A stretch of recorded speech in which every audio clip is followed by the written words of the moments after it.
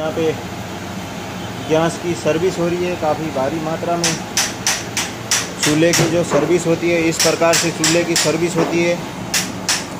जो हमारे किचन में जो चूल्हे होते हैं, जो गैस, जहाँ पे खाना बनाने वाला जो भट्टी होता है, उसकी सर्विस हो रही है।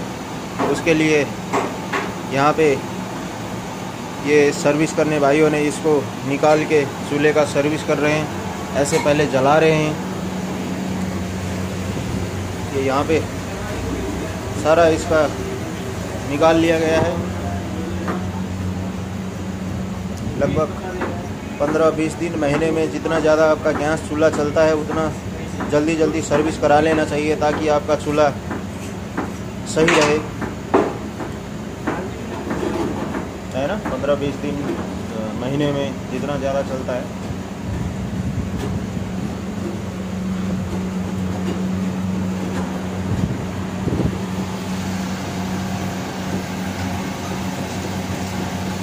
चूल्हे की सर्विस हो रही है देखो।